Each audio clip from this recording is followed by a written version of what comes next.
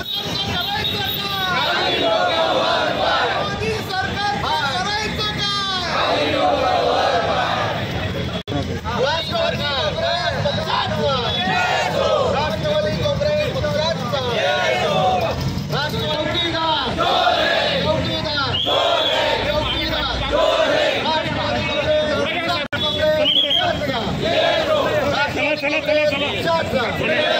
Traffic होते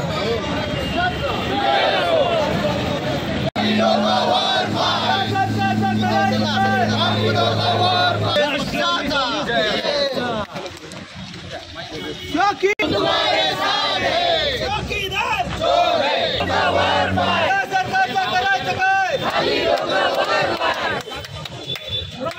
सरकार के भाव में विस्तार केंद्र पक्षाचा सरकार सरकार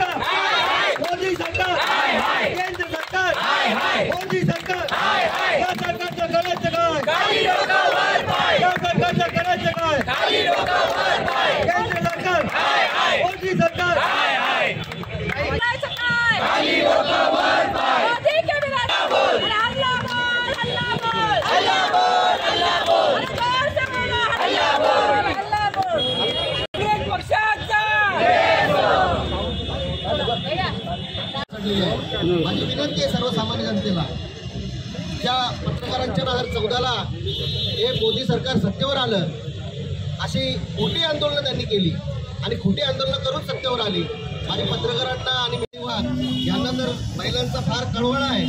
परंतु त्यात केंद्र त्याची दखल तहसीलदार घेऊन कलेक्टर साहेबांना आपलं निवेदन देणार आहेत. तात्पुरते आपण सर्व केंद्र सरकारला जागा करण्यासाठी आम्ही रस्त्यावर उतरत आहोत.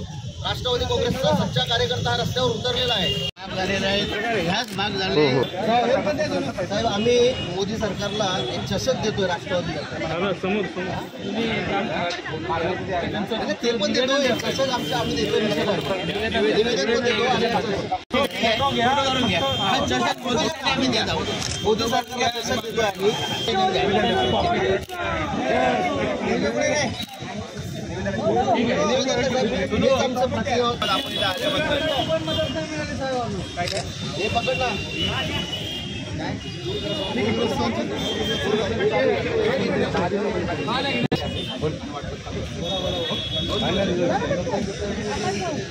झोपलेल्या केंद्र सरकारला जागा करण्यासाठी आपण आज इथे रस्त्यावर उतरलेलो आहोत. राष्ट्रवादी काँग्रेस पक्षाचा प्रत्येक वेळेला निवेदन दिलेलं आहे.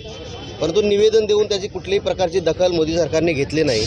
एखाद्या हुकुमशाहीप्रमाणे हुकुमशाह वागतो त्याप्रमाणे तो वारंवार पेट्रोल असेल डिझेल असेल गॅस असेल याची दरवार करत जातो आहे हे लोकशाही सरकार नसून हुकुमशाही सरकार आहे.